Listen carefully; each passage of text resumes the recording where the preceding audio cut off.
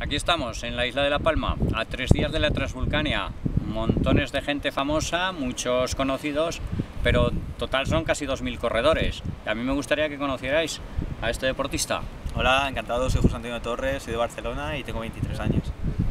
Y, y- y, bueno, ¿cómo has llegado a, a correr la Transvulcania con Mira, 23 años? Todo empezó hace justamente unos 3 años así. eh, tenía muchos problemas de sobrepeso porque bueno, tuve una lesión jugando a baloncesto, me rompí el cartílago por dos sitios. Me tuvieron que operar dos veces, bueno, pues operatorio, recuperación, estuve mucho tiempo encamado con una escayola que me llegaba desde la ingle hasta el tobillo. Eso me hizo coger muchos, muchos kilos y con 20 años llegué a pesar casi 120, 125 kilos. Entonces, bueno, a partir de ahí, hace cuestión de tres años, pues mira, por motivos personales, aquellos de por intentar cambiar, por intentar hacer las cosas que normalmente no podía hacer, por esa limitación física que tenía y que yo sentía que me estaba perdiendo muchas cosas en la vida, pues mira, decidí empezar a hacer deporte poco a poco, primero en casa, todo a base de, bueno, de libros que leí, de, con- de consultar artículos por internet, todo por mi cuenta, a controlar un poco más el tema de la alimentación, todo esto que, era, que es clave ¿no? para, para bajar de peso. Y bueno, siempre desde un punto de vista realista, ¿no? Porque, hombre, ahora mismo peso 70 kilos, he conseguido bajar casi 55 y, hombre, eso es un proceso, no es de la noche a la mañana, o sea, eso requiere esfuerzo, sacrificio cada día, ¿no? Y sobre todo ser consciente de eso, de que es un cambio lento, de que no, no va a ser de un día para otro ni de un mes para otro.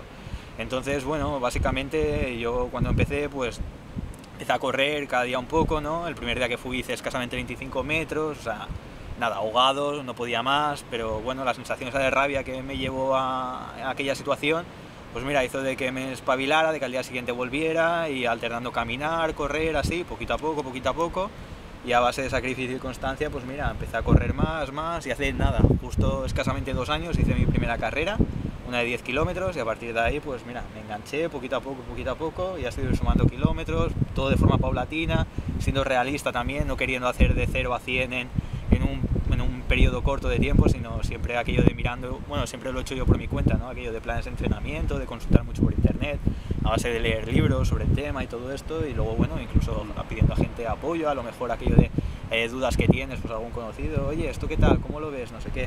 Pero siempre, básicamente, ha sido yo todo por mi cuenta, la verdad, aquello de la base de leer Y- todo y- y de forma autodidacta. 50 kilos son muchos. Tema de la alimentación, Tema de alimentación, pues mira, al principio, como te comentaba, ¿no? Pues aquello de que lees artículos, lees, lees libros y tal sobre el tema, y me hice como mi planning, digamos, de, de comidas, comer 5 o 6 veces al día como máximo, eh, bueno, 2 tres piezas de fruta al día, comer lácteos, comer yogur, luego to- sobre todo legumbres también, todo natural, en cuestión de, por ejemplo, de comer nada de fritura, sobre todo el tema de los pescados, las carnes, comerlo toda la plancha, y sobre todo lo que nunca me obsesionó mucho fue con tema de cantidades.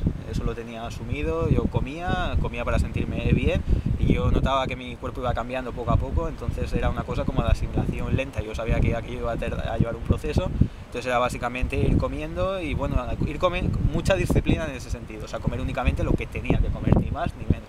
en el comer y en, en el entreno y en poco a poco más carreras, ¿no? Ahí está, y en el entreno otra ot- disciplina igual, constancia, sacrificio día a día, si tenía que hacer 10, si tenía que hacer 15, lo hacía, aunque tuviese que caminar, aunque estuviese cansado. Si yo tengo una cosa, una particular, no sé, no sé si es un defecto o una virtud, pero si me apunto a algo o quiero hacer algo, sé que eso requiere esfuerzo y lo que tengo muy claro es que he de currar mucho para poder hacerlo. Pues- Entonces, Aquí lo tenéis. En tres años, 50 kilos menos de no correr nada a correr la Transvulcania, que lo va a hacer en menos de... Estoy ahí, hombre, por lo que he entrenado y por tiempos de referencia y carreras que he hecho en estos últimos meses, la idea es hacerla entre 10, 12 horitas, un poquito más incluso, Pues, pero ahí estará la cosa, pero sobre todo pasármelo bien, disfrutar y con la suerte de tener grandes amigos como estos que he conocido este año y sobre todo pasármelo muy bien e intentar volver el año que viene. pues enhorabuena desde, desde ya. Y tanto. Gracias. Mucha amigo. suerte. Gracias.